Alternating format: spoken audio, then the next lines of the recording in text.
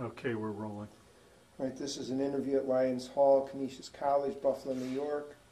Is the 7th of May 2008, approximately 1 p.m. The interviewers are Mike Russert and Wayne Clark.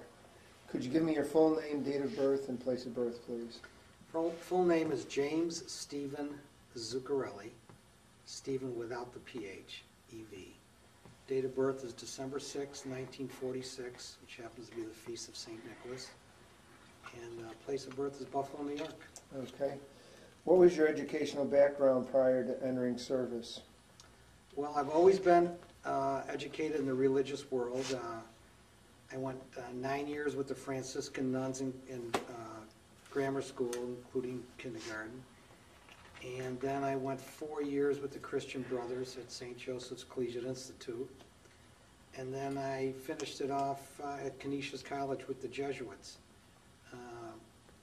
Uh, after uh, I got my uh, diploma on one end of the stage at Kleinhans, I got my gold bars at the other end of the stage as a uh, officer of Marines.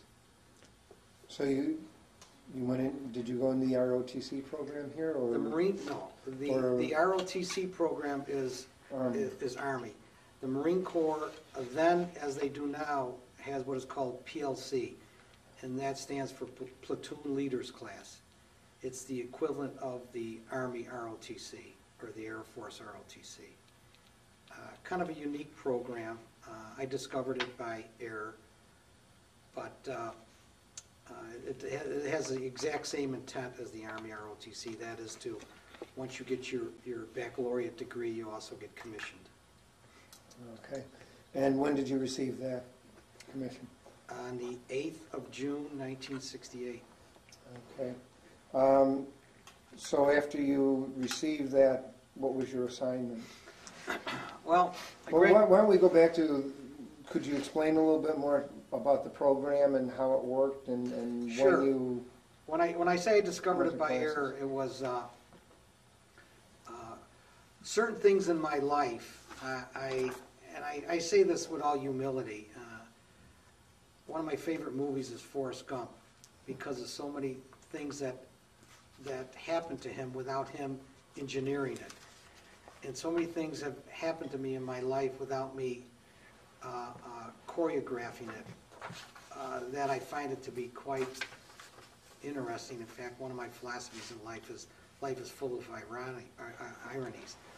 But when I was, uh, when I was at, at St. Joe's and into my Canisius college years, I was dating a girl.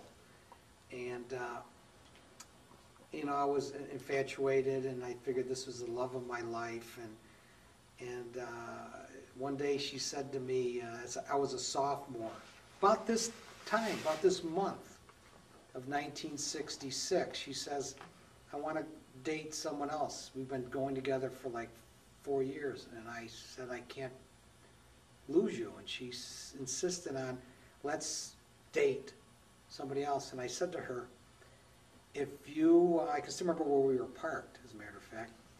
I says, if you don't date me anymore, if we break up, I'm going to, I'm going to, and I started stumbling, I said, I'm gonna quit college, join the Marine Corps, go to Vietnam and get killed.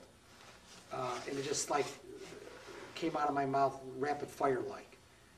And well, she broke up with me, and I, a man of my word. Uh, I, my end of my sophomore year at Canisius, '66, I drove down to the uh, military, uh, the Armed Forces recruiter, which is was at the uh, which is now the city campus of Erie Community College. It was the old post office. Walked in the Marine Corps uh, uh, office, recruiter's office, and I says, I'm going to join the Marine Corps. Now, this is 66. The- The war was going on. It was escalating. They probably needed bodies. This is one of the things where I'm a firm believer that there is a good Lord, that someone is up there looking for me, looking after me and everybody else on this planet. Whereas the recruiter, I must have said I'm, you know, two years at Canisius College, that must have rang a bell, because he walked me into the officer candidate uh, room where there was a Marine captain. Young guy, I'll never forget, I can still see him, I can still see the, his face in my mind. This is go, this is what, 40, 42 years ago? And I said to him, uh, I want to join the Marine Corps. Yes, good, really good. You know, I want to be a Marine. I said, yes, sir, I want to be a Marine. Who in your family was a Marine? Never. I'll be the first one. Do you think you can make it? Yes, sir. Why you join the Marine Corps? You know, patriotism, love of country, want to be the best? I says, no, sir, I broke up with a girl. and I'll never forget what he did. We were about this far apart. He left his desk, came across to me, grabbed me by the shirt, lifted me out of the chair, threw me against the wall, and I can't use the words he used because we're on tape, but says, I will not allow you to throw away your education over some girl. He says, you will not do that. The most important thing, the most precious thing in your life is getting your education, getting your degree. Screw the girl, but he didn't say screw. And he and I was sitting there absolutely petrified. And he was literally lifting me up. I felt like he was lifting me up, but he had me pinned against the wall. Then he threw me back in the chair. He says, "Now, you listen to me." And I said, "Yes, sir." Now I'm going to sign you up for the PLC program. and We're going to get you as a, a second lieutenant once you get that degree from Canisius. And I, I signed. That was June sixth, 1966, D-Day, 1966. I signed on the dotted line. He says, now you're in the platoon leaders class. Go get your junior year and your senior year in Canisius. Senior two years. Unbelievable. And I was ready to give everything up. Save my, he literally saved my career, my life, where I was going. But it's another one of those little things where God inter, intervenes, you know, he kind of like, we have a lot of free will in our life, but he intervened at that moment and had that man there, as opposed to that man getting me as a quota for the day, he got me as a quota for two years from now. Came back to Canisius, uh, did my junior year, did my senior year. Now, you didn't take, have to take any, No, but what, what, the- as opposed to ROTC, Mhm. what I had to do was, I had to go in between my junior and senior year, I had to go to Quantico, Virginia for ten weeks. Was that a basic training? Officer candidate basic training. I'll never forget this. Certain things I'll never forget. Sixty-seven men went into my company. Ten weeks later, twenty-eight graduated. And I'll never forget, one of the guys that went through me was a Canisius College colleague of me, of mine, classmate, I should say. He was one of those that didn't make it. And I felt very bad. But it was ten weeks of, uh, it was boot camp. It was like what you go through in Parris Island. Did they not make it because of academics, or did they quit, or Well- what happened? It, a combination of that.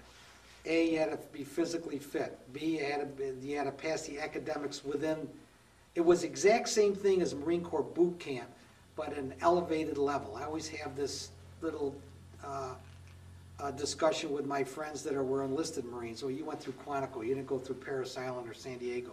I said, Quantico is as rough physically as it is in Parris Island. The only difference is they inject a lot of the elevated demands on you as, as a, as a candidate, as a recruit, because you're eventually gonna be an officer, so you have to know tactics, you have to know leadership, you have to have command uh, presence and all that, uh, which they expect of you from day one. So sixty-seven went in, twenty-eight graduated ten weeks later. The other ones, they, they couldn't make it physically, they couldn't make it academically, academically within the program. Uh, or they just said, this is not what I want to do. So, and then I, uh, completed my college education here at Canisius. And like I said, on June eighth, nineteen sixty-eight, uh, the, uh, graduation ceremonies were held at Kleinhans because things were smaller than they are now. And, uh, remember, I was in my dress whites. Marine Corps doesn't have dress whites anymore, but white, everything from white socks to white buck shoe, that was a dress white uniform. Everybody's familiar with the dress blues, but back then, the, uh, the, the Marine Corps had dress whites, because we were under the naval service. We did away with those probably in the seventies. And I walked on stage, and I got my diploma, Bachelor's of Science, uh, in Political Science as a major. And at the end of the stage was, was uh, the officer. There was a, four of us that graduated in the Marines. It was an Army officer that gave the gold bars to the ROTC uh, graduates, and it was a Marine officer that gave the gold bars to four of us Marines. And uh, went out, and, you know, afterwards went in the parking lot, and my grandmother and my mother pinned my bars on me. My grandmother pinned my bars on my left, and my mother pinned my gold bar on my right. And that was June 8th, and on the ironic part, I don't know how familiar you are with Title 32, Title 10.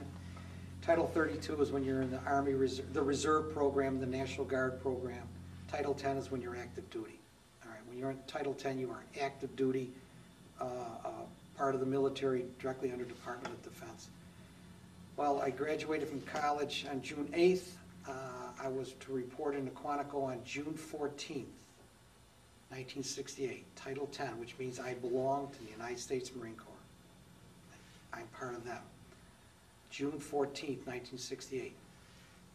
I'm going to fast forward when I was in the Army National Guard and called up for the war in Iraq. I reported into uh, Camp Drum as an Army uh, National Guardsman. On June 14th, 2004, I went Title 10. So on June 14th, 1968, I went active duty Marine Corps as a second lieutenant. On June 14th, 2004, I went active duty United States Army as a lieutenant colonel. So what is, what is the math, 68 to 04, 38 years later? So it just, I mean, it's, it's, it's all- the Forrest Gump thing. I mean, this is, who could have, who could have made those arrangements or, or, kind of like directed that? And then after I graduated from Canisius and went into the Marine Corps, I was gone for three years. June, June uh, 14th, and I came back uh, June 1st of 1971. Where did you uh, begin your career? Okay, went down to Quantico, Virginia, and in Quantico, Virginia, which is the only officer candidate school, and officer developmental school in the Marine Corps, as opposed to the other arm, arm, uh, other four armed services. Uh, the Marines only train their officers at Quantico. And from June 14th until uh, approximately November 14th, it was uh, officer training development. I was a second lieutenant then, with all second lieutenants, and we were trained in, in everything from amphibious warfare to uh, leadership techniques, survival techniques, anything having to do with the military. Your standard run-of-the-mill training that every officer gets, you know, you know, how to lead, how to use a radio, uh, how to read a map, uh, decision-making, uh, how to, you know, you know, uh, fire weapons and all that. And then in, in uh, November of '68, I graduated from uh, Quantico, and my orders for Vietnam was uh, December '68. In retrospect, when you got into Vietnam, do you think you were adequately trained? Absolutely, uncategorically, no, I was not. What do they say about the greatest war plan goes out the window when the first shot is fired? No. In fact, I, when I was in Vietnam and when I was in combat, I used to uh, say to myself, the Christian brothers and the Jesuits did not train me for this. I was in a constant state of uh, fear and uh, uh, horrific fear, which I think is one of the reasons why I survived, because I did not become complacent. Uh, The people, a lot of the men, and in this current war, a lot of the women that uh, get hurt is because complacency sets in. That's one of the things that an officer is never supposed to like, and uh, allow. An officer is supposed to always, and an NCO, a good non-commissioned officer, is always supposed to ensure that uh, you're at the uh, cutting edge, tip of the arrow of awareness where you are. You can come down when you're out of the war zone, but while you're in the war zone, you should always be uh, alert to, uh, to the point where it's almost uh, not a, a typical human response, which to me is one of the reasons why we have a lot of men and women in post-traumatic stress disorder suffering from PTSD, because you can't inject yourself, you can't take a person in typical Americana suburbia, inject them into a high-intensity uh, war zone, keep them there for a year, and then bring them back without some sort of uh, uh, withdrawal techniques or, or uh, allowing the people to, uh, to uh, immerse themselves back into society. That's one of the problems with the military is, oh, you're home, boom, you're home now, what do you do? Your mind, you're, you're not trained for that. I was not trained. I had, I suffered terribly from post-traumatic uh, stress disorder. Didn't know it. That acronym did not exist mm -hmm. back in 71. Uh, we were dealing with, we were the first veterans uh, since the successful, now, this is my, this is Jim Zucarelli's philosophy, in my opinion, okay? This country, and I'm gonna hold off on the Iraq War. That's still, history still has to be written on that. But if I can simply put it in a very simplistic way where anybody can understand it, in every single war this country's been involved in since the Revolutionary War, up until the war in, in Southeast Asia, Vietnam, we have never lost a major conflict. We were always the victors. And I'm speaking generally here. Mm-hmm. Korea is, is a blip to that opinion. Korea, we didn't lose it, but we surely didn't win it because the communist North Koreans still exist and look what they are doing today. Although we can take a look at what China is today, so, you know, the jury's still out on that war. My personal opinion is in Vietnam, and I get into a lot of disagreement with my fellow Vietnam veteran comrades and brothers, I, we lost that war. In so saying that, when I came back from that war, I was a pariah. I don't know how many times I was not asked, but told or insinuated, you know, how many children did you kill? How many babies did you kill? How many women did you kill? You know, and in fact, I even had one person say to me, too bad you weren't killed. And some of those that you killed were still alive. So I went through some really traumatic times. The VA wasn't set up for it.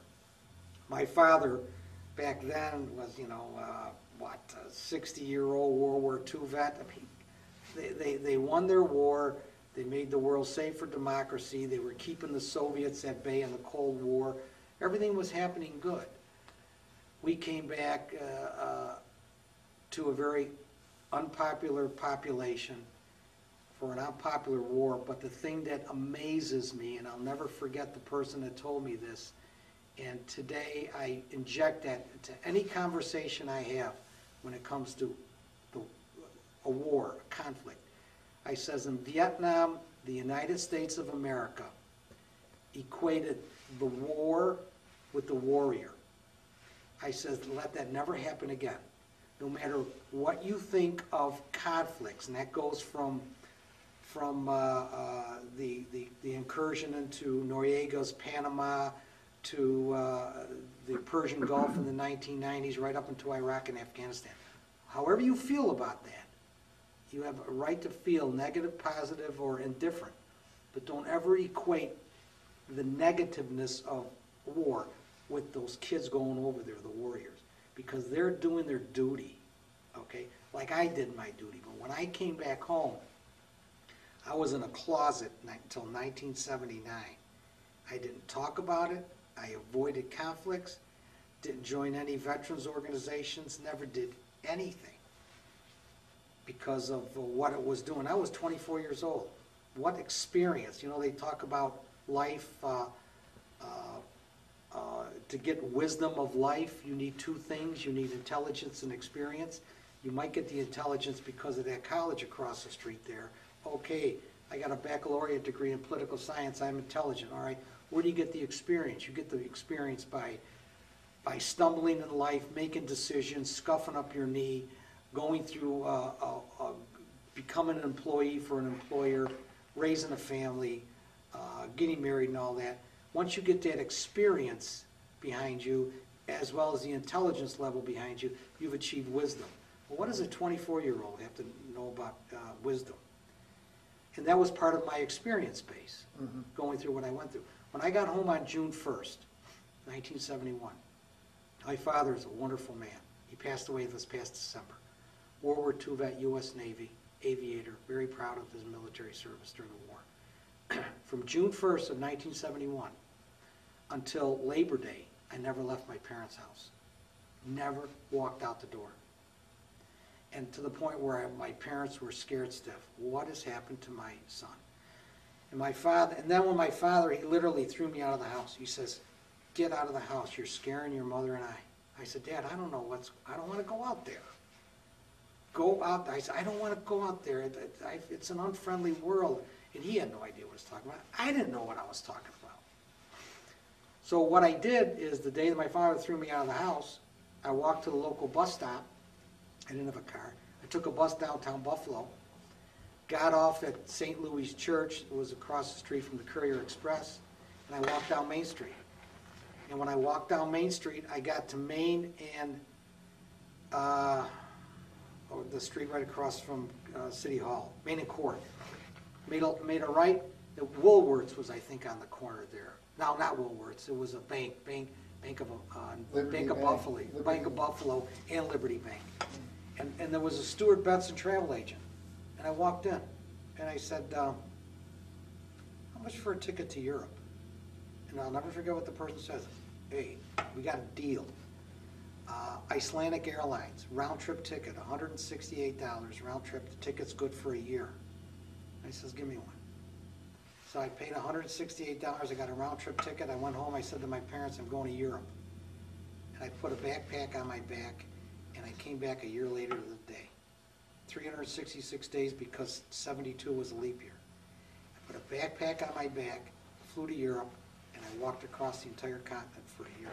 There wasn't a park bench in Europe I didn't sleep on. I made it as far east as Moscow, Leningrad, back then it was Leningrad, up to the Arctic Circle, down to Madrid, down to uh, uh, as far south as Rome. I was in East, East Berlin, East Germany, every country except Portugal. I just walked. And then when I stop walking, I jump on a train.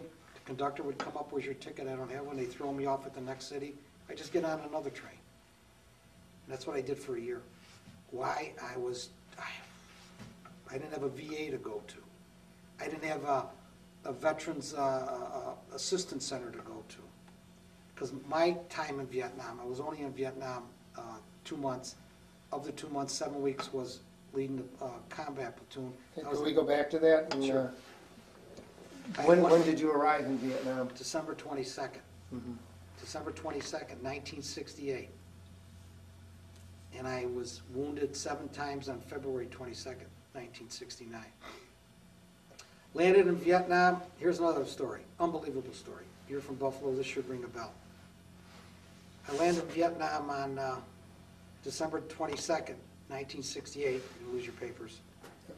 And, uh, they, I get off the plane, they go, okay, Lieutenant, where you going to? I said, 26th Marine Regiment. All right, jump in the back of this three-quarter ton. So I jump in the back of the three-quarter ton, and we're just driving through the city of Da Nang, out to the regimental headquarters. Okay? And I get, and I no weapon, because I haven't checked into the unit yet. And I, and I just left Buffalo, New York, just left Canisius College. You know, six months ago, seven months ago, I was in college, now I'm in Vietnam. So I walk through the wire, and where do you always report in? You always report into the S1 adjutant's office. So I asked the guard, where's the adjutant's office? Lieutenant's right over there. So I walked into the adjutant's office, sit down, I was a first lieutenant there. And I says, uh, Lieutenant Zucarelli reporting his orders, sir. And the lieutenant says, you don't have to sir me. I'm a, I'm a first lieutenant, you're a second, we're the lieutenants. So he starts checking me in, and he goes, uh, where you from? I says, uh, East Coast. He goes, I'm from the East Coast too. Where in the East Coast? He says, New York. He says, I'm from New York State too. Where in New York? I said, Buffalo. He said, you gotta be kidding me. I'm from Buffalo too. I says, "Wh- what part of Buffalo? He says, I grew up in Amherst. I says, I grew up in Amherst. He says, where in Amherst? I says, Snyder. He says, I grew up in Snyder. What parish did you go to? I said, Christ the King. He says, that's my parish. I said, what's your name? He says, Frank J. Clark. I said, oh, I'm Jim Zucarelli. I didn't know him. Well, Frank Clark is our district attorney. Frank J. Clark's our DA. And, uh, the- in fact, I still got the paper that he signed on February, tw- or December twenty-second. Frank J. Clark, district, who's now the district attorney for Erie County. First guy, I ever, first time I met him, I probably lived a couple blocks from him, was in Da Nang, South Vietnam. So he said to me, I'm gonna do you a favor. It's December twenty-second, we won't send you out into the field until after New Year's. I said, thanks, appreciate that. So he sends me to, we're gonna send you to an LPOP, a listening post, our observation post. So I climb up this mountain on December twenty-fourth, Christmas Eve, and there's one thing I did learn. Even though I was a second lieutenant, I didn't know crap, okay? So there was this, this Marine gunnery sergeant who probably had a thousand years of service in him. So he said, Gunny, you're in charge. He says, okay, Lieutenant, just follow me. That night, we got hit by an ambush team that attacked the listening post, observation post.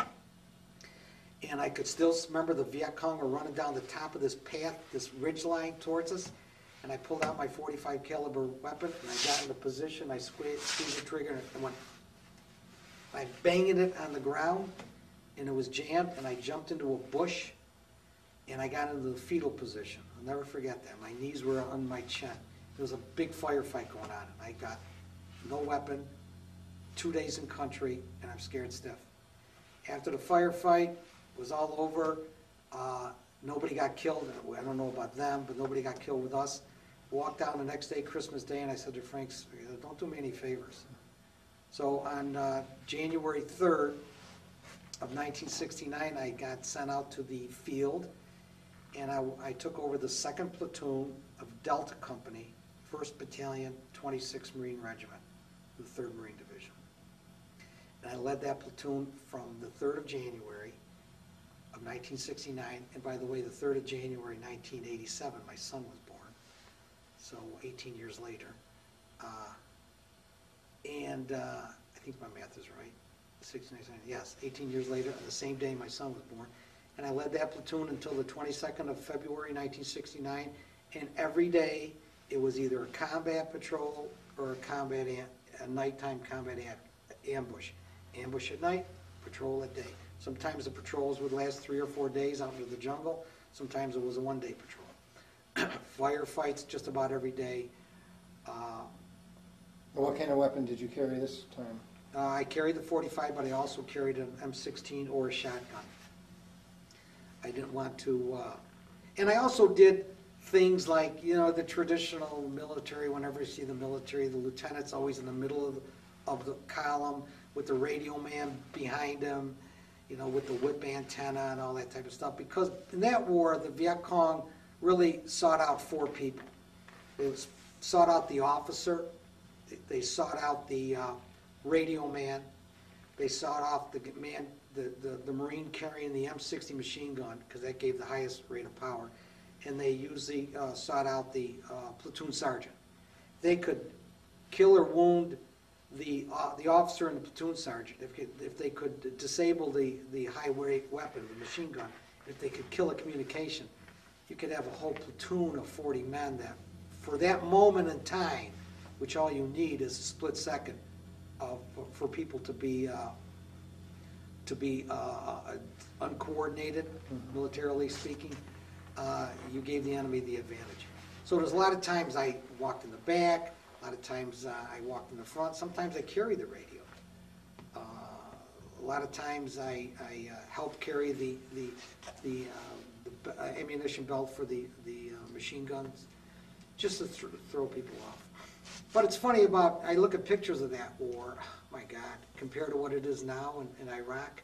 When I was in Iraq, I felt like Iron Man, walking around with all that armor and, and- and protective gear. In Vietnam, uh, ninety percent of the time I wore two things, uh, boots, socks rotted off you, so boots and, and your, uh, and your uh, utility trousers, that was it. Because, uh, you wore your, uh, your uh, uh, body armor, which wouldn't even be considered today as body armor. But during the heat, uh, you, you take it off. And so a lot of times I'd be in a firefight with just bare chested and, and, and, and, and, and uh, utility trousers and boots. Did you wear a helmet at all? or- Wore a helmet, a lot of times I took the helmet off, put, forget, the, that's one of the reasons for my many wounds, and I'll admit it to this day. I, I wasn't wearing a helmet, and I wasn't wearing body armor. That's why I got hit so many times. I got hit by seven grenades. I got shrapnel from my head all the way down to my ass. You know, in my chest and my arms, all that kind of stuff. But I was scared stiff every moment I was there, petrified. It was a controlled fear, uh, very alert, always looking at the ground, always aware of what was going around. And uh, I was very successful after that, after I did get out of the Marine Corps, come back home, and went through that trauma of, of sequestering myself in my parents' house for three months, and then walking across Europe for a year by myself, trying to find who I was. I came back home, I went into the closet, and I was very successful at that uh, until '79. Didn't tell anybody I was in the Marines, didn't tell anybody I was a Vietnam veteran. If anybody asked, said no, you know. And nobody really asked back then, because the war ended in, for the US in '73, ended for the South Vietnamese in '75, and April 30th, when, when Saigon was overrun. And uh, I figured that it's just like anything else in life. Uh, uh, The best way to control pain is just don't even realize it's there. You know, I, I must have taken a lot of uh, uh, mental placebos every day to get through this. And after a while, it worked so good that in the mid-eighties, I even doubted in my own mind that I went to Vietnam. I even said, did I really do this? And that's how I got involved in the Vietnam community. Uh, I'm I'm gonna go back again. How, how were you wounded? Were you in a firefight or an Yes, ambush? uh, or- it was, it was February twenty-second, it was a Saturday. We could do this whole interview on that one day, I'll- I can remember that day, every minute of every hour of that day.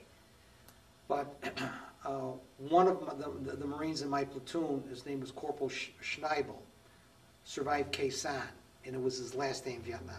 It was the thirtieth day of his, of the thirteenth month. He was going back home. And he was one of the guys, Lieutenant, I want to go on a patrol with you. Nope, you're not going out, damn it.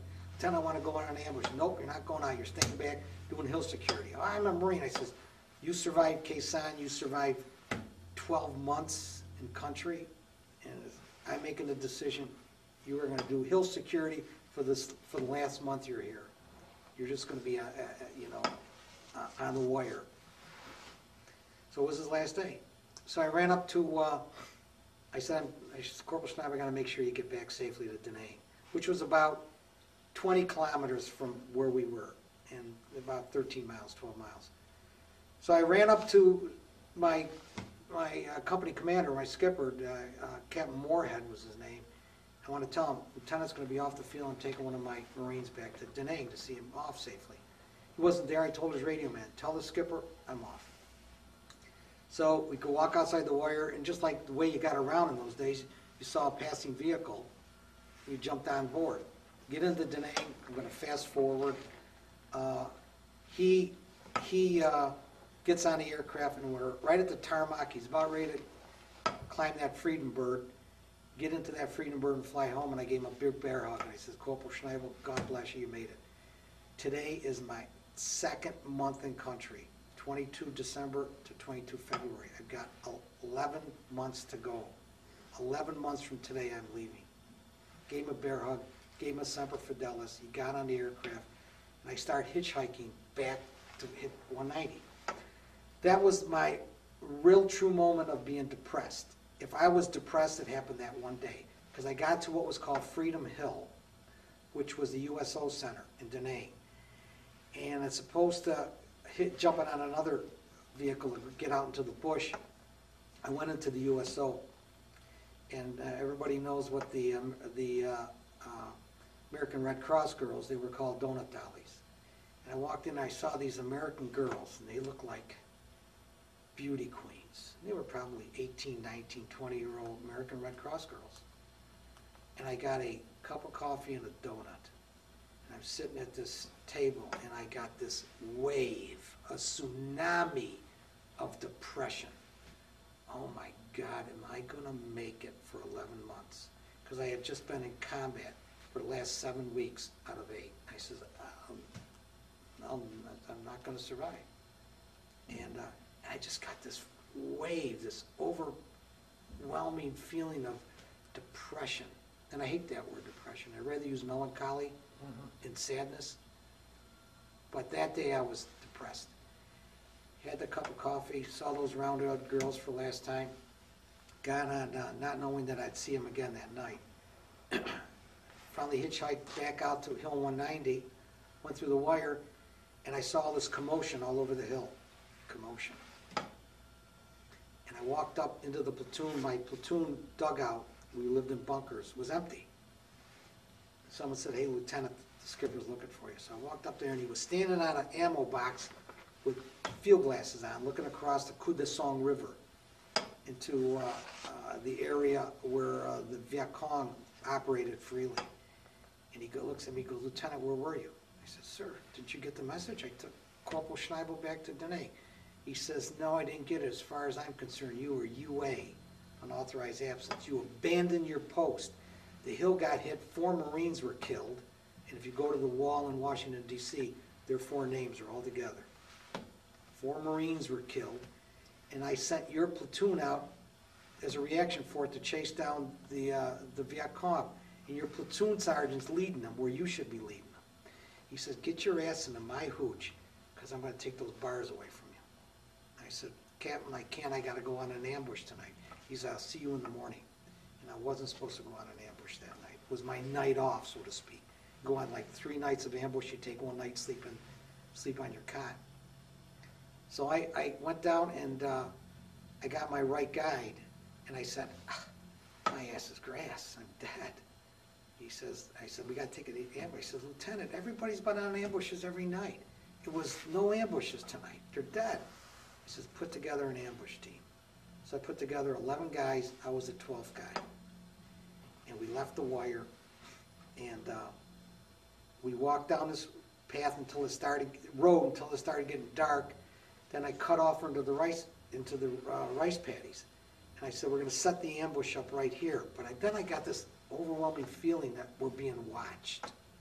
Someone's watching us. And it wasn't dark enough. So I said, the VCers, they're watching us, and if they know where we are, we're gonna be surprised. So I told the Marines to get up, we walked down this path, and I said, we're gonna set this, set the ambush up right here. And all I remember is this dark silhouette in front of me, dark silhouette. Starting to say, Lieutenant, this is, I said, shut up, keep quiet, this is where we're setting the ambush up. Put a four-man team over there, four-man team here, which will be me and three other Marines, and a four-man team behind us for rear security. Well, that guy that told me that, I only found out back in, in 2002, was uh, uh, Corporal Alan Knight. We talk about it, I'm gonna see him in a, in a couple weeks, going for a reunion. Uh, He was the one to come up to me, he was trying to tell me, this isn't a path, this is a fork. And there's two roads that's gonna come right to where we are.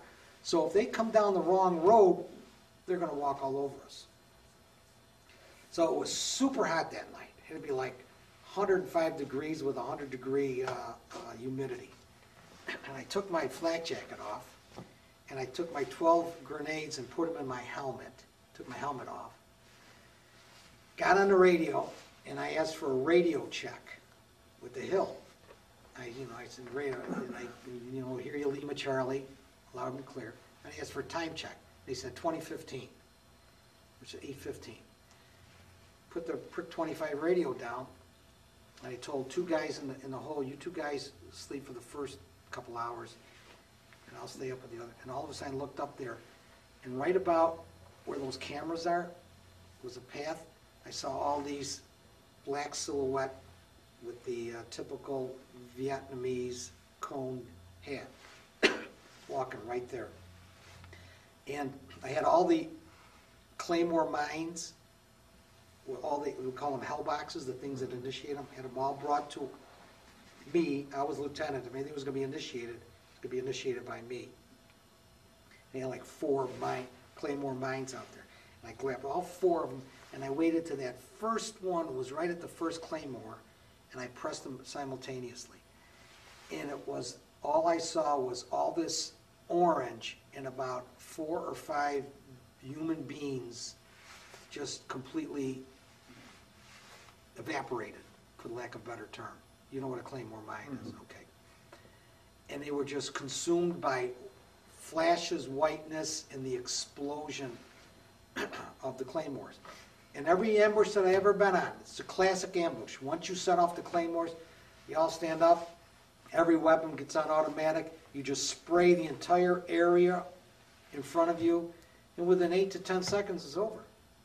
Then when you go, you go tagging the bodies, and, and you usually drag them to a place, the next morning the helicopters come in, pick up the dead bodies, and they turn it over to G2, uh, the intelligence guys that figure out what's going on. Well, when we stood up, we started spraying the area, all of a sudden, the weapons fire from out there to us was ten times the rate of fire that we were given. And, and I go, holy shit, you know? I thought I ambushed a sapper team coming into Da Nang, which would have been maybe twelve men at the most. But it was a point element of a, a higher unit, company or battalion.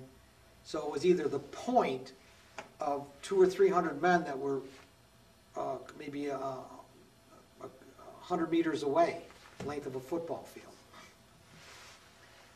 So I turned around to, uh, the, I gave an order, I turned around for the guys in that hole to move back to where the other four is, so that'd be a power of twelve. And a grenade landed and went off, and it hit me in the head, and I went into the ground. And, uh, shrapnel went into my skull, it's still there as a matter of fact. It never came out. And when I started to get up again, and I found out I was all, all by myself now because the last order I gave was pull back. Another grenade went off, and that one went into my back, took out my left lung. I didn't know it then, but it went into my back. See, no helmet, no body armor. Uh, and it took my left lung out, and I went down on the ground again. Next thing I know, when I'm, next thing I'm being dragged back, and the pain of one of my Marines dragging me back to where we were was, was just phenomenally painful. Threw me down, and there was like four of us that were really gravely wounded. And the other eight got into a wagon wheel, the old classical wagon wheel. So there was eight defending against uh, what was uh, out there. And they kept throwing grenades, and I remember they would like land, these were Chinese grenades, Chi, Chi-Coms. They weren't our grenades, which I would have been killed. These were probably man-made in, you know, on the Ho Chi Minh Trail or something. And like a, a grenade would land where she is and blow up and, and I feel, I feel the shrapnel going. And it got to the point where it became comical. The seventh guy said, all right, stop this, this is crazy. I was on the radio once when a grenade went off and I was lifted into the air and the, and the, uh, the cord on the radio extended. And I'd be calling in for, uh, uh, air support and artillery. And I remember my company commander says, we can't give you, I said, well, give me, I need illumination, I need to see what's out there. And I remember I used a term, I don't know where I got it from, I says, Skipper, it's darker than the inside of a cow's ass out here. We need light. He says, there, there can't, there's friendly aircraft in. And I said, what friendly aircraft? I don't see anything. Every other word out of my mouth was F. And he kept saying, Lieutenant, watch your language. It was comical. I'm in a firefight asking for help to save us, and he's trying to keep me calm. Don't use foul language. And then what we saw was Puff the Magic Dragon, the old DC-3, uh, and it just orbited around us and was just laying down fire. And it started at 8:20 at night, and at 10:05 the reaction team came out. So it was for an hour and 45 minutes. Uh, my life was saved. This is another part of Forrest Gump's ir- irony. My life was saved. Certain things in life happen in a split second. Other thing in life that happens in an actual split second is like an eon goes by, a whole lifetime. Well, I remember I was sitting there, all I had left was one grenade, one grenade, my weapon was smashed, I had thrown the other 11, and I had my father's World War II knife with me, his K-bar. He got one as a naval aviator, because he used to fly PBYs. I had the knife in the ground and the last grenade. And I remember I looked up, and right about, again, where she is, out of this bush jumps a, a uh, Viet Cong. And I Now, I'm gonna tell you what I remember vividly. I remember looking into his eyes, and I remember him looking into my eyes. I remember him lifting his AK-47 right at me, laying there. And I remember saying to myself, and th- th- this is gonna sound like melodrama, but I've lived this. I remember saying, if I pull a pin and throw the grenade, I'm gonna kill myself. If I throw the knife, I don't know how to throw knives, I'm gonna miss them. It's all going through my head. Next thing I know, have you ever seen a man die? He just falls into like a pile of protoplasm, just, just falls into nothingness. I look over and there's, there's Corporal Edwin J. Smolarag Jr., one of my, my Marines. He goes, Lieutenant, I got me a gook, I got me a gook, just like that. He saw the, saw the Viet Cong, shot him like that, went down, and in my mind, this is all going through slow motion. Uh, uh, uh, Smokey saved my life. He survived that night, he was wounded, he survived that night. On, on August 18th, he was killed in Vietnam, okay? He is buried probably 150 feet from where you're sitting. He's buried right there in Forest Lawn, under an oak tree, overlooking Canisius College. He's class of 66 at Bishop Doherty. A Buffalo Boys saved my life.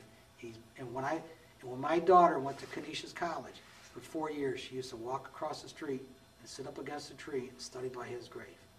Because this is the man, this is the man that saved my life. Okay? And he was killed on August 18th, buried here.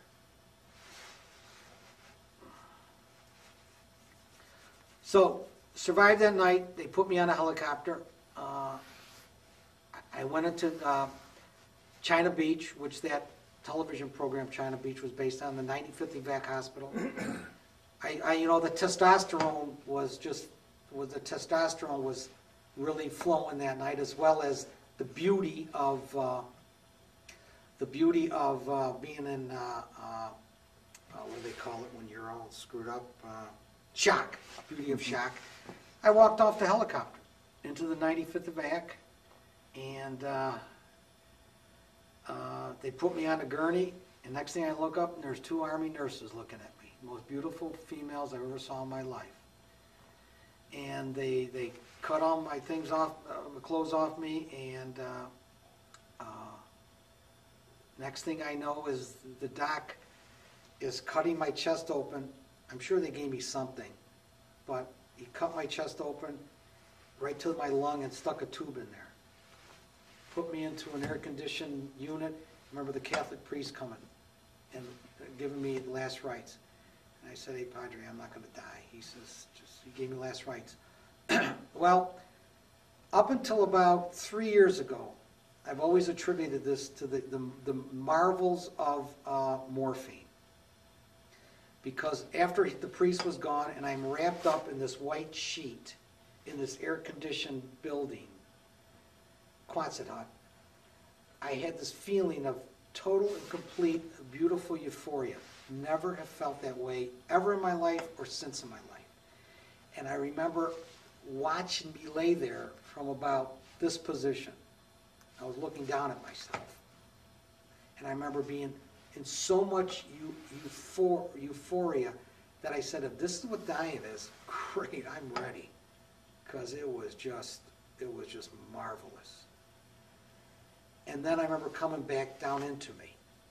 And I said, my God, the morphine, is that why addicts that become drug addicts stay on that stuff?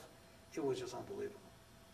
This was February twenty-second, sixty-nine. I went to a Marine Corps reunion, and this was two years ago, so that was two thousand, no, yeah, two thousand six, Marine Corps reunion, and I met my corpsman, Doc Watts, who, uh, lives in Illinois, and he was the one that came out to Reaction Force, we told him a story. I said, boy, Doc, I told him a story, He says, boy, you must have really shot me up with morphine. He said, Lieutenant, I never gave you morphine. You had a sucking chest wound. You don't give morphine to people with a sucking chest wound. And another one of the corpsmen said, LT, you didn't get morphine. You got no morphine at all. I said, what was that experience I had? You know, out of body, he says, well, I don't know what it was, but you didn't get it from an artificial drug. And so, I don't know if that was an actual out-of-body experience, I have no idea, but I'll never forget it. Make, uh, I was in the 95th evac for a week, then I spent seven weeks in uh, US Naval Hospital in Yokosuka, Japan, and then I spent my last eight months in, uh, on Okinawa. I never went back to the field. I mean, I don't know what the reason was, the reason, wa- I have no idea what the reason was. I was still a functioning officer, uh, I don't know what it was. But uh, I finished off my tour on Okinawa, came back home to uh, Buffalo. Uh, And I could tell you some stories about what it was like uh, in, uh, uh, coming back home, going through Oakland Alameda Airport with my uniform on, because back then, when they sent you home, they sent you home on military standby. So if you wanted to get home, have your uniform on. If you wanted to pay for the other half the ticket, you can take your uniform off. I remember walking through Alameda Air, Air, Airport in uh, Oakland, California, I think that's what it's called, and the garbage bins were packed full of uniforms. Guys were, guys were throwing, throwing their, taking your uniforms off, throwing away, and buying civilian clothes. Well, I was a second lieutenant, and I had my, my uniform on. And we get to Chicago Air- O'Hare Airport, and again, I had cocooned myself. Sitting there like this. Alongside me were two Army enlisted uh, soldiers, and you were on standby. And I remember the, the plane was filling up for Buffalo, New York, and they called these three young kids on, about her age. And uh, I remember this to this day. The kid says, the soldier alongside of me says, Lieutenant, does military standby take precedence over student standby? And I says, I have no idea, but it sounds good to me. So I walked up and I said, does military standby take precedence over student standby? And she goes, yes. And I says, well, then get those kids off the plane and put us on, for Christ's sakes. All right? And they, and they took those three college kids off, and as we're walking by them, I don't know what type of language I can use on this, but, but, you know, fuck you, you ass baby, baby killers, and I just wanted to be left alone. And those three guys got on that aircraft, and when we got on that aircraft, everybody in that plane considered us pariah. You know, they wouldn't look us in the eye, we, they wouldn't, what are these kids, these college kids, you take them off, and, you know, you guys are a bunch of baby killers. When I came home to Buffalo, all I wanted to do was get out of Buffalo and go back to Camp Lejeune, which I did. Finished off my active duty service at Camp Lejeune. That's when I came back on June first of seventy-one, and it all began. The nightmares began.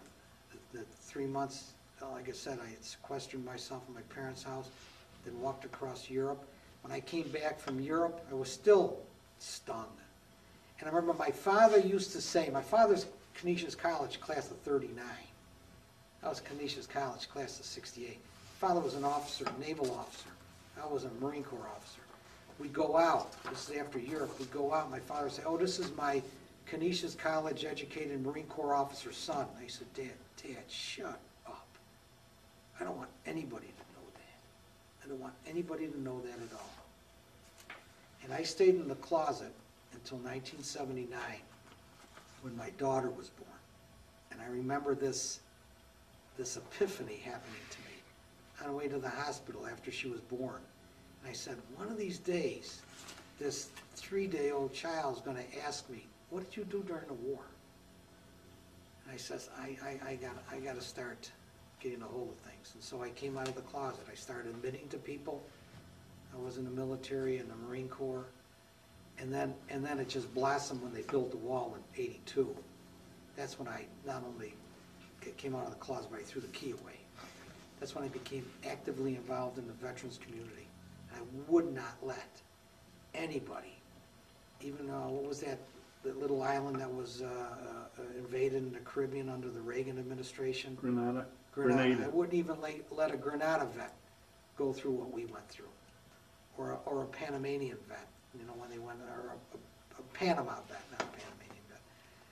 And I got involved in the, uh, veterans community here in western New York. There's an organization that was called the Vietnam Veterans Leadership Program. They helped build the wall, the monument that's on the waterfront. They've given out scholarships. We brought in speakers like John McCain, uh, Admiral uh, Zumwalt, uh, General Westmoreland. We used to have a great, we used to run a race. Uh, fi- 5K race, got very involved in the, in the, in the veterans community. Now, why did you decide to go into the Guard, and you had, what, uh, quite a few years in 71, between? 89, Yeah, 15 years. I- I always considered myself pa- a patriot, but more than that, I have so much love for this country. When someone would say to me, when someone would ask the question, you can ask a Canadian this, or a Brit this, or an Italian, or a Frenchman, or a German, you know, what is a German? What is a Frenchman? What is a Canadian? If someone said to me, what is an American? I've always said, uh, in my mind, this is my take on it. What, I'm proud about my country is three things. Number one, and first and foremost, is the flag. You know, so many men have died for this flag. So many men, and men and women have died for this flag and protected this flag. Number two is our Constitution. I think it's one of the most wonderful uh, documents that's ever been drafted. Our founding fathers were geniuses. And yeah, it's been retweaked in a couple, 200 years, but still the- basic document. And the third thing is our form of government. The Form of government of checks and balances, the judicial, the legislative, and the executive. It's, it's, a- it's a form of government where no- one man has the ability to control it on, ad nauseum. So that to me is what this country, and I always felt like this country, I owed something to this country, and I had certain talents, and I wanted to give back, and I wanted to put the uniform. And I couldn't get in the Marine Corps Reserve because I didn't, I failed to tell you, when I, when I got out of Vietnam, I, I got out with four disabilities. Uh, I couldn't get in the Marine Corps Reserve because of my disabilities. I tried to get into the Army Reserve, and I failed the physical because of my disabilities. So now that I'm out of the National Guard, I guess I can speak freely. So when I went for the National Guard interview, I begged the doc, pass me. Just let me get in. And he says, you know, because if you take a chest x-ray of me, or if you, you know, check me out, you know, not hundred percent. So I got into the National Guard. I just wanted to serve my country again, Army National Guard. What was the Army National Guard like in nineteen eighty-nine? The traditional one weekend a month and two weeks in the summer. Well, look what it's become. Well, I went up the rank, came in as a captain, I went, became a major, and was promoted to lieutenant colonel. And then I'll never forget, we all assembled in, uh, in Albany uh, for what is called a tag call. The adjutant general calls in all the officers once a year or, or biannually and, and discusses the state of the state. And we're sitting there, and he goes, the, uh, the tag was General Maguire, U.S. Air Force guy at the time. He goes, as, as we sit here, uh, on Defense, uh, Department of Defense Secretary, uh, uh, a senior moment, he's no longer the Secretary of Defense, Rumsfeld. On Rumsfeld's desk right now, as we speak, are eight Army divisions from the National Guard. They're, they're, he's gonna pick one to go relieve some of the stress of the active component that's fighting a war in Afghanistan and Iraq. And lo and behold, Rumsfeld picked the 42nd Infantry Division of New York State, and none of the other seven infantry divisions across the country, National Guard divisions. Uh, So here I am, 57 years old, lieutenant colonel, preparing for a second war, arrive in country when I'm 58 year old, at le- you're 58 years old, and I leave when I'm 59 years old. And uh, I served in Baghdad uh, with the 42nd Infantry Division, and I, I was even older than the commanding general. And I think one of the, the cutest, if I can use that word, most humorous, was there was a ceremony in Fort Drum called the donning ceremony, when you gave up your, your forest green uniform for your desert camouflage uniforms. Everybody put them on. Governor Pataki was there, the tag was there, all these generals was there. Uh, And uh, I think Schumer showed up. Schumer showed up. And uh, I'm sitting there, it's all over, I'm sitting on the bench, and now we're scheduled to go to Iraq in a couple weeks. And this young nineteen-year-old PFC female comes up to me. She goes, uh, Colonel Zucarelli, I am so happy that I'm going to Iraq with you because I feel very safe with you. And I says, PFC, why? why? She goes, I just feel very safe that you're going, that you'll take care of me because you're older than my grandfather. I said, you mean your father? I says, no, you're a year older than my grandfather. I'm going to stop you right here. We have to change tapes.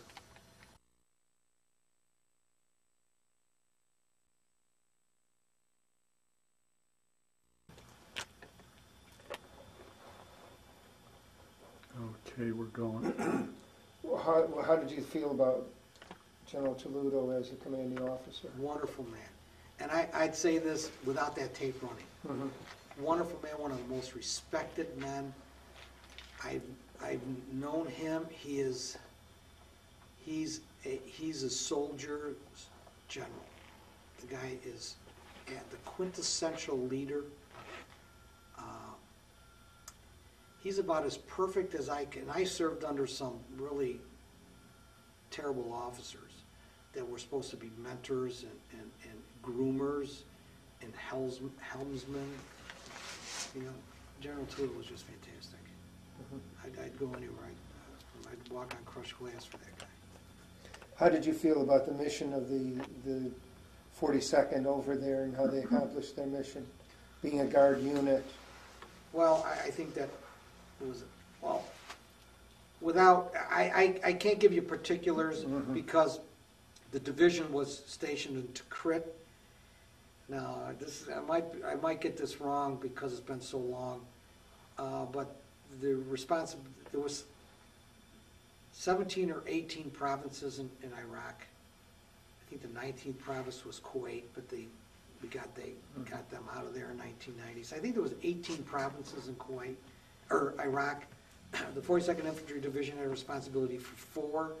I put them in my write-up, uh, Saladin, Sulaymaniyah, Tamim, and, uh, uh, Diyala, those four provinces. And basically, the division's responsibility was all-encompassing. Uh, That was seeking out and removing the enemy threat, as well as rebuilding the country, as well as winning the hearts and the mind of the populace, as well as establishing the seeds of democracy, uh,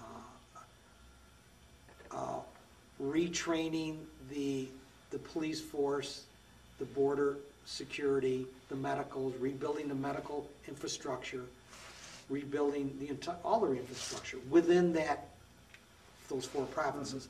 Now, when we were there, again, this is subject to uh, change because I- I'm not the subject matter expert on it, but when we were there, there was seven major support commands. You had the British in the south out of Basra.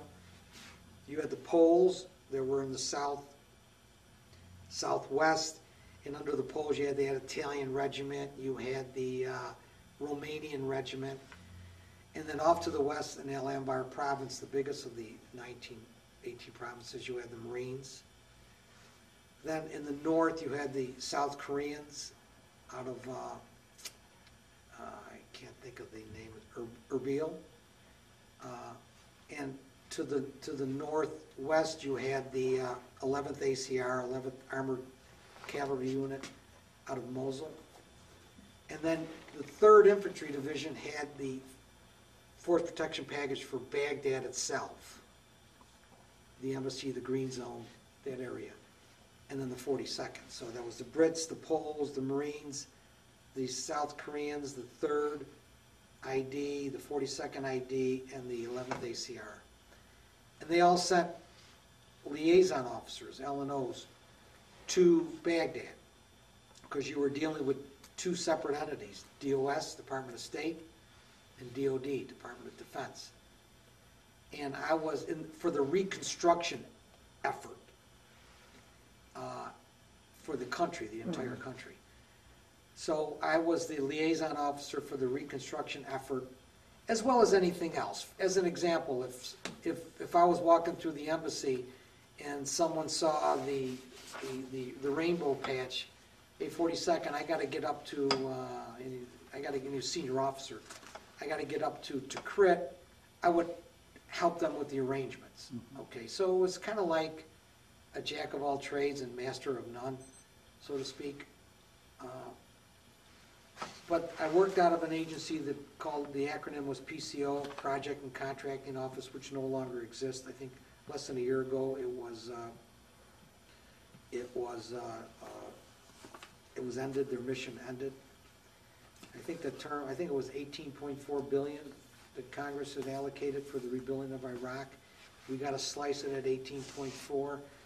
With General Taluto, and one of his many things that he had to do besides winning the hearts and minds, rebuilding the infrastructure, infrastructure, controlling the insurgent threat, was the reconstruction effort for everywhere from the, the, the oil wells at Cook to uh, the dams along the Tigris, to irrigation project, to police stations, to uh, health facilities, be it hospitals or even clinics.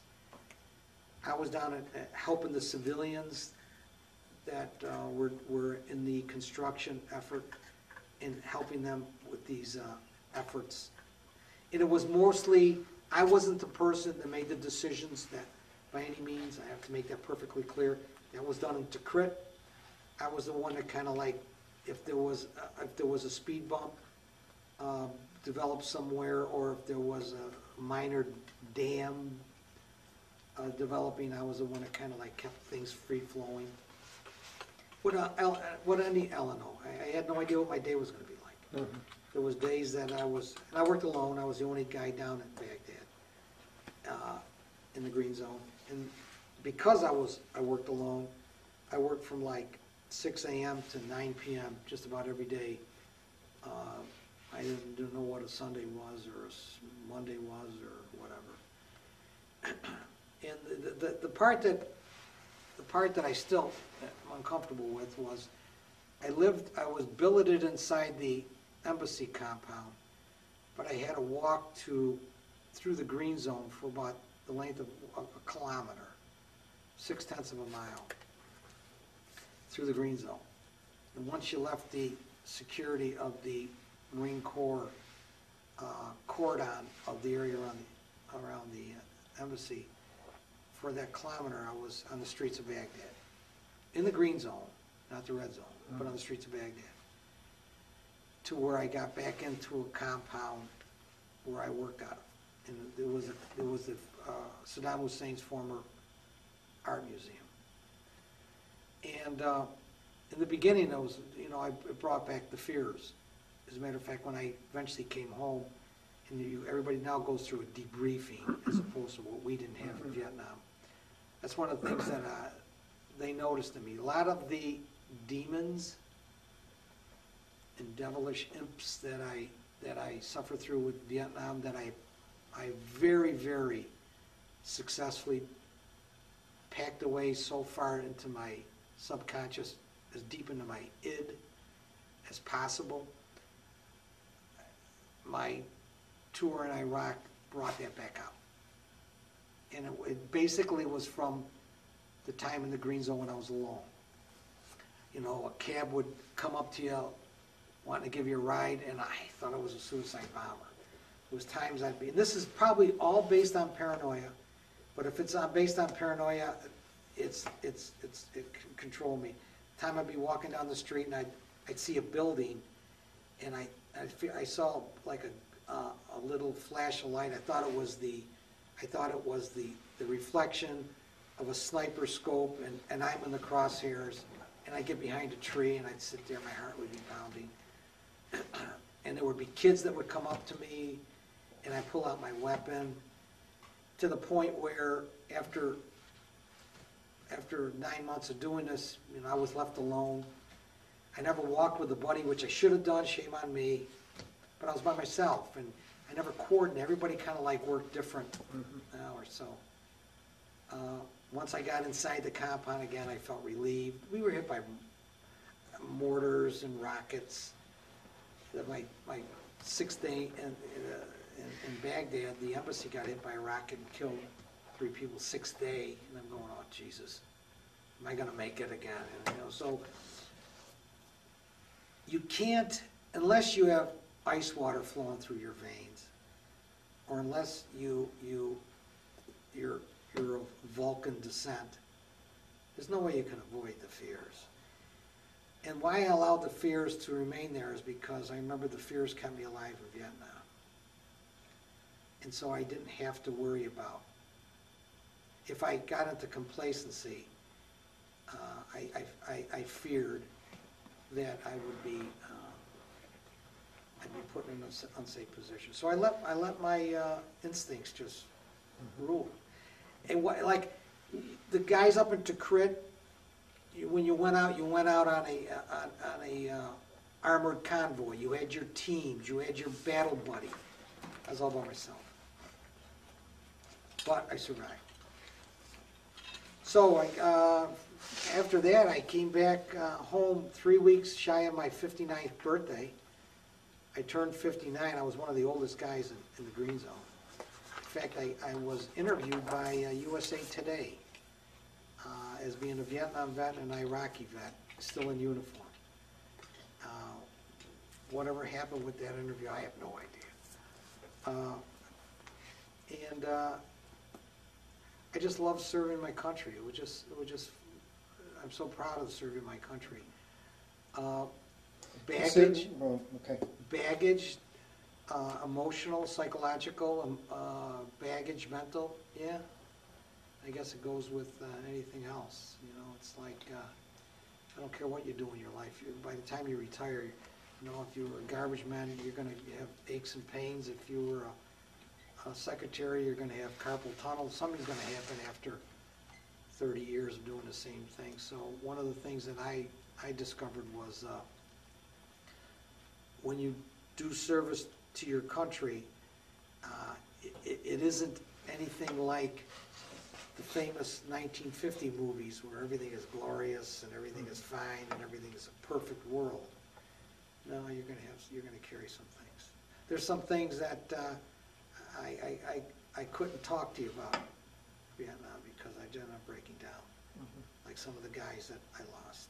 Considering all the things you went through, do you have any regrets about taking the, ch- the path you? Absolutely, unequivocally none. Not one. I thank God. I absolutely thank God. It's like in the mid-eighties, when I had doubts that I had even, was it even in Vietnam. That's how much I had suppressed it. Did I, was I there, or did I read too many comic books? Did I dream this? Never taken a drug in my life, but I, but I said to myself, is this a drug-induced, with not taking drugs, uh, fantasy? That I had joined, I'm like, I joined organizations, I'm a life member of AMVETS, I'm a life mm-hmm. member of American Legion, life member of VFW, DAV, Military Order of the Purple Heart, Vietnam Veterans of America. I joined all these organizations as a life member. Why? Not to go to all their meetings, but so when that, that national commander gets before a congressional subcommittee, he can say, I'm speaking for three hundred and seventy-seven thousand members. But I wrote, and if you go to the Vietnam Veterans of America, uh, newsletter, they didn't have websites back then in the eighties. I wrote a letter to the VVA, and it was called a locator file. It was just a short thing, postcard type thing. And I put down Second Lieutenant James S. Zucarelli, Delta Company, one, First Battalion, twenty-six Marines, Vietnam, December sixty-eight to, I said, does anybody remember me? That was it. Does anybody remember me? And I mailed that in, and I've gotten, and next thing I know, this, I get a phone call from, from, uh, uh, Doc, Doc being a Navy corpsman, Whitman from Ames, Iowa. He calls me, he goes, I remember you. I says, Doc, he was a, he was a corpsman for the first platoon. He says, I, I remember that firefight. I remember watching it. I remember saying, no one's gonna survive this. Doc Whitman, uh, and Robert Whitman, and I still correspond with him, and we got together.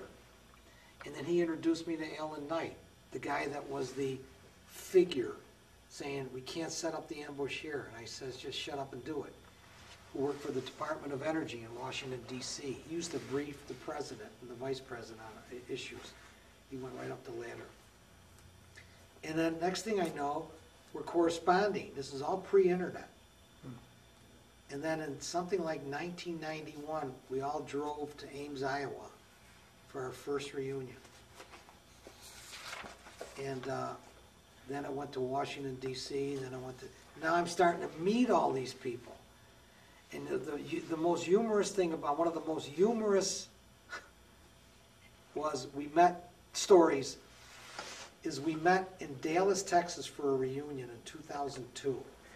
And the theme of the reunion, it was done by the Khe Sanh vets. The 26th Regiment is the regiment that was in Khe Sanh that survived the siege. I was a member of the 26th, but it was post-siege. Mhm. But what the Khe Sanh vets did, anybody in the 26th Regiment can come to our reunion. So us guys that served in 69 came, and we kind of like clumped together. There was 12 of us from Delta 126. And like I said, the theme of the reunion was honoring our docs, our corpsmen. So we all sat at a table. I love this. I just love this story. We all sat at a table on July 4th, 2002 in Dallas, Texas. It was just us Delta guys. And they said, okay, guys, you're taking, you, it's your turn to go up to get the hot dogs and the green bean, or the pork and beans and all that. So we all line up there. We all get. We come back and there's two guys sitting at the table. We all had little name tags, you know. Mine says mm-hmm. James S. Zucarelli, second lieutenant, second platoon, and all that. And it was two guys sitting at the table. Well, they're all, we're all brothers. And the first thing we said is, you guys can join us. So we pulled two more seats up. Now we made it 14 of us. Well, this guy's name tag was turned over. So we're all eating, and we're saying, you know, they're both corpsmen. Oh, you guys walk on water. You corpsmen, we love you. You know, we love you to pieces. This is Doc. This is Doc Whitman and, and, and Doc Cahill, and, and we're all sitting there, all Delta guys, and uh, we're all talking. We're all talking. We're we're showing these guys our. I'm opening my. This is where this is where I got wounded, and and and uh, a couple of the guys. Wendell Wells is lifting up his. Knee this is where I got shot, and for the next hour, these two corpsmen are going. God, these are you guys are war heroes, and oh, I, this is where I got nicked, and and this that we're all talking war stories, and we're all sitting around going, God, we're really war heroes, right? So one guy walks by and he says to the, he says, "Hey Doc, good to see you." And he shakes his, he reaches up to shake this guy's hand, and his name tag flips over, and it's got Donald Doc Ballard, Medal of Honor winner. And I go, Ballard, you won the Medal of Honor of Vietnam. He says, Yeah, I did. I said, You just listened to us for the last hour like we were all Medal of Honor winners. He says, I love to hear you guys talk. It was wonderful.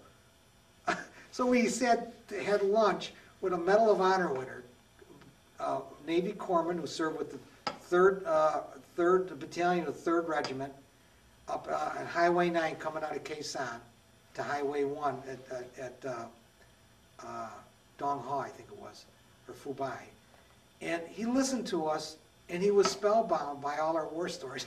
there was a guy that was Medal of Honor, and and it was, and we're sitting there going, boy, did you just, did you just prick our balloon and deflate it? but ever since then, like I went to the reunion last year was in, uh, two years ago was in Mobile, Alabama. Last year, uh, one year was in Charleston, South Carolina. Last year it was in Washington D.C. Uh, this year it's in Las Vegas. And every year we get together as we get older, our war stories become more uh, embellished. And, and, and some of us, some of like the ladies, they go, my God, you all should be wearing those medals around your necks. Well, you know, allow us to, you know, we're in our sixties now, okay? Uh, Allow us to enjoy our exploits, and, and we're just a band of brothers. We do anything for each other, absolutely anything. I love being with these guys. I mean, I'd walk on crushed glass for these guys, because we fought in an unpopular war and we all survived. We all carry baggage, we all have our little demons, but we never show it amongst ourselves, but we know it. We know it. Well, thank you very much for your interview. Wonderful.